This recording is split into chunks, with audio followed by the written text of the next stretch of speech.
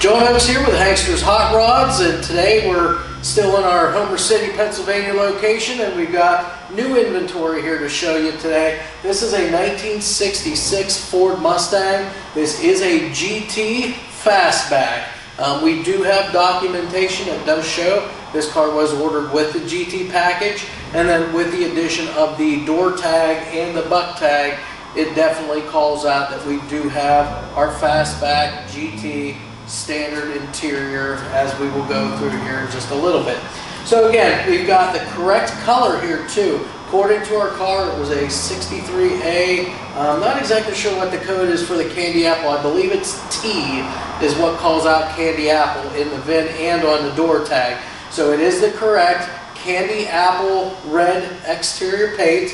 Um, now this paint, uh, it is a bit of an older paint job, but the paint is still nice and smooth and shiny on this car. Um, it's actually been buffed out. It looks really, really good here as it sits. But again, original candy apple red color.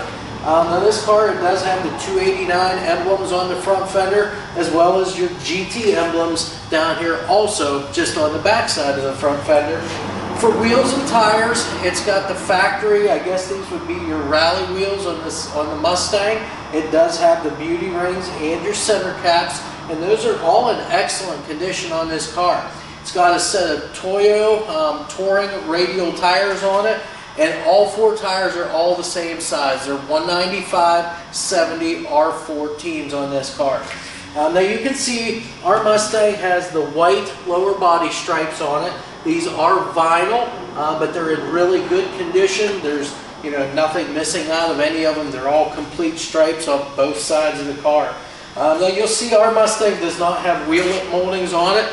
They've elected to leave those off. Uh, it does have the bright drip rail moldings, which all of the trim on this whole car around all the windshield, the rear glass, as well as your drip rail moldings on both sides all in excellent condition. Nice and straight. There's no dents or dings or any kind of imperfections whatsoever on those. Those look really nice on this car.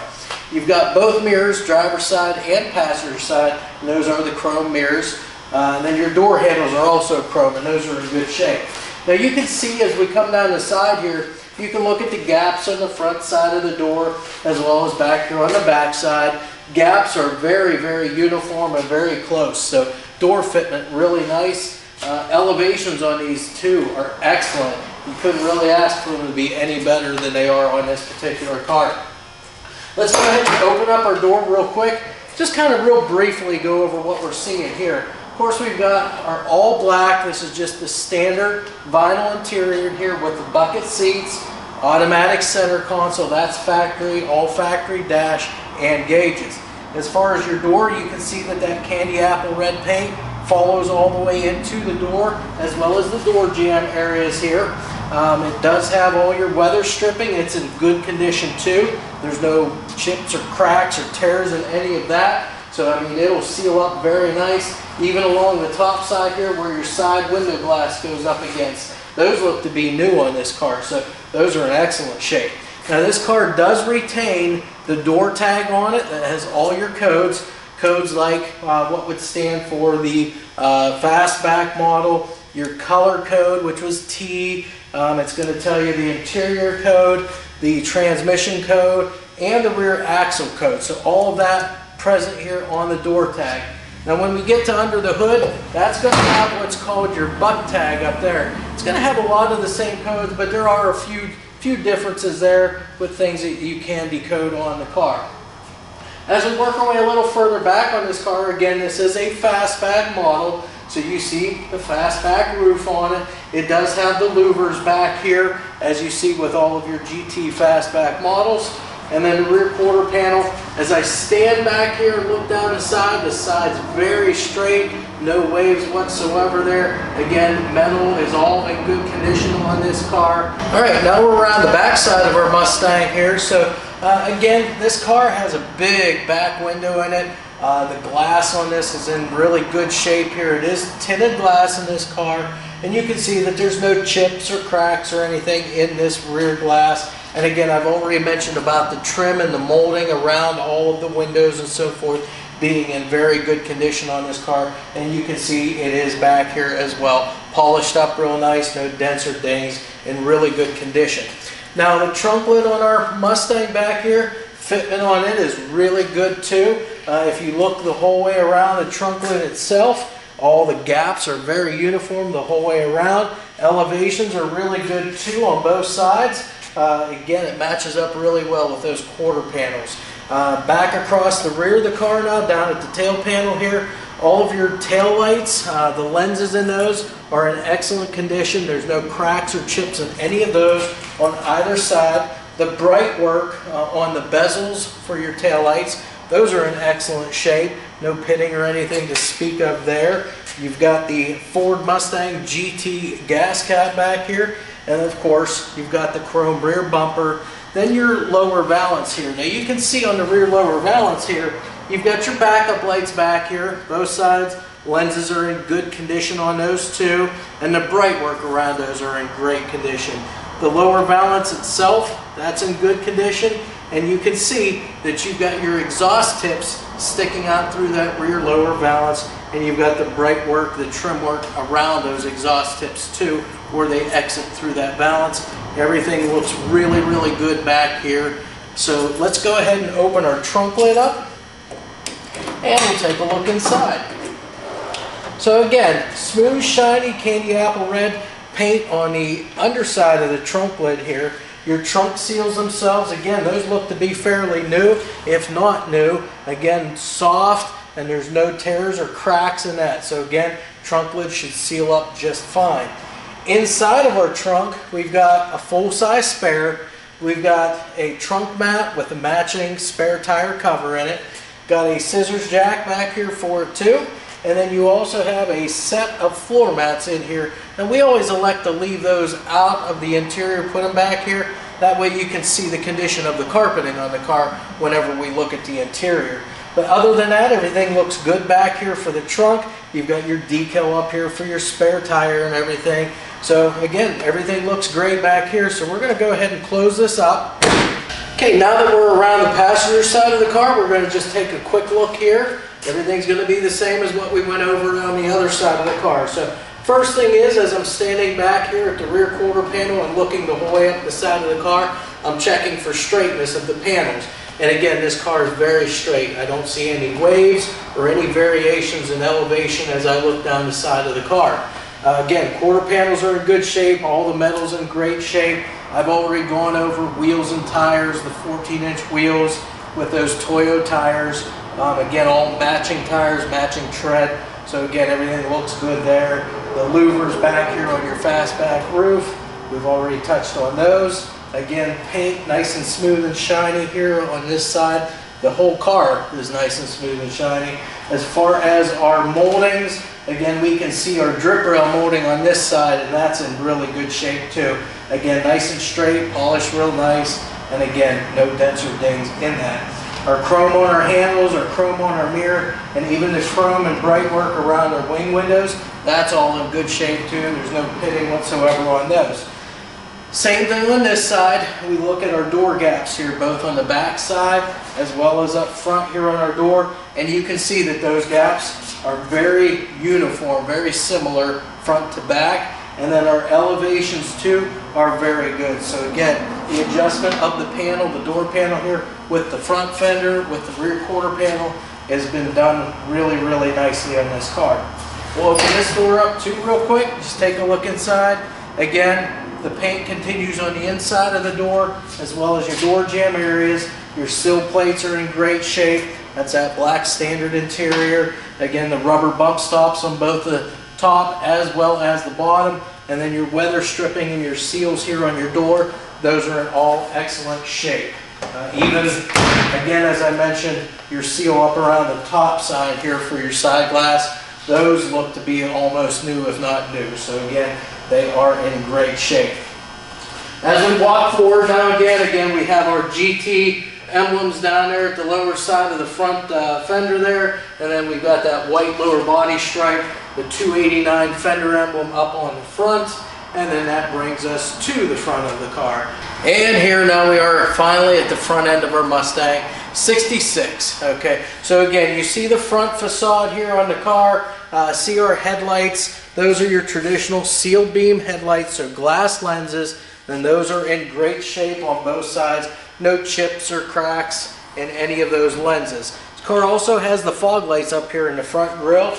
And again, those are in great shape. There's no chips or cracks in the lenses and your be bezels, the bright work around them, those are in great shape too. The actual grill area, really good condition too. Bright work is outstanding on this car. Again, you see that big Mustang logo right here in the center of the grill. The chrome front bumper, again, looks to be in really good condition.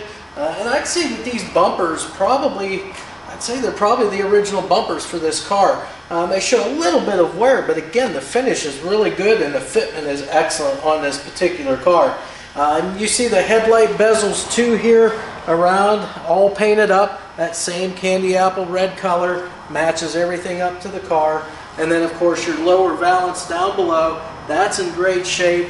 Your turn signals or your marker lights, those are down here also. Lenses in those are in great shape, no chips or cracks and the bright work, the bezels around those. Those are in good condition too on the car. So what we'll do now, uh, take a look at the hood here. As far as our gaps go on the hood, very uniform side to side. You've got the same gap on that side as what you do over here on the passenger side of the hood. As far as elevations go, matches up really good with the fenders there. So again, that's all in great shape. This is just your stock hood, all steel. You've got the Ford emblems here on the front, and you've got the bright work right along the edge of that hood, that trim work, and again, in good shape. It's not bent up, not dinged up, and it's polished up really, really nice. So at this time, we'll go ahead and pop the hood on it, and we'll take a look at what's inside. So first thing we notice is the underside of the hood painted the same color, that candy apple red. Uh, sitting inside this for an engine, this is the correct 289 cubic inch small block Ford engine. Um, looks to have a few little things done, um, you know, mostly bolt-on items to maybe help it run a little bit better. Um, we've got a chrome air cleaner here with the 289 decal on it. We've got chrome valve covers. One valve cover has a breather, the other has a PCV valve in it hooked up through so it sucks through the carburetor there. Speaking of carburetor, we've got an Edelbrock 1406 series carburetor. That would be a 600 CFM carburetor with the electric choke on it as well.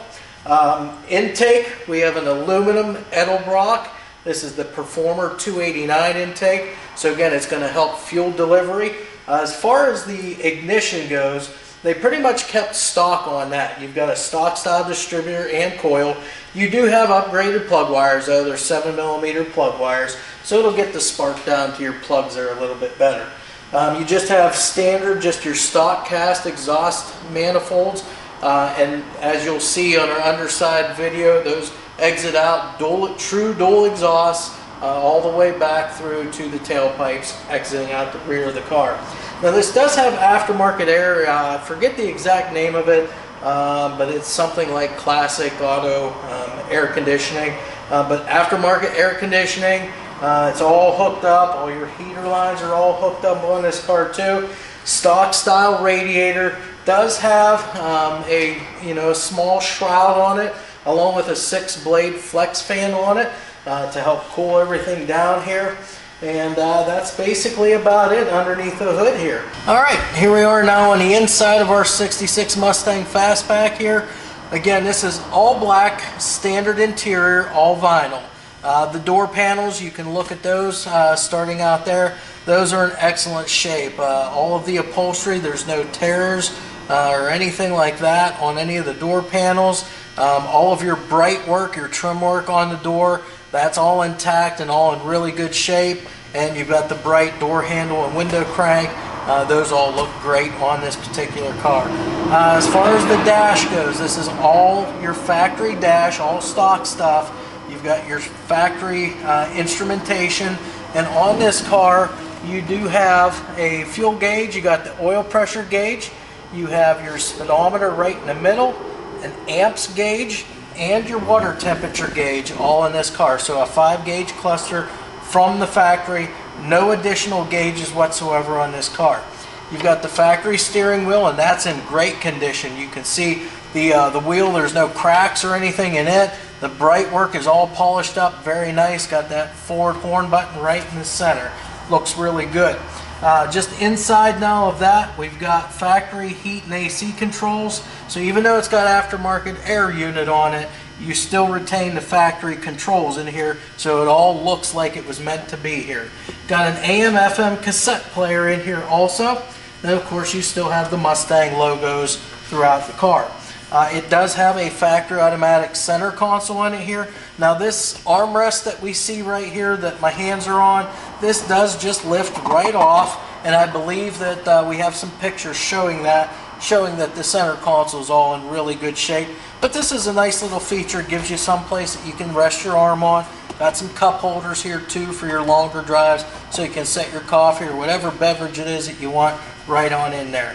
Um, the headliner itself is in really good shape, nice and tight, no holes, no tears. All the bows are in it as they should be. So again, excellent shape there. Your sun visors, whoops. sun visors looks like somebody left a garage door opener in here. But anyways, the sun visors are in excellent shape here. You put those down, they stay down.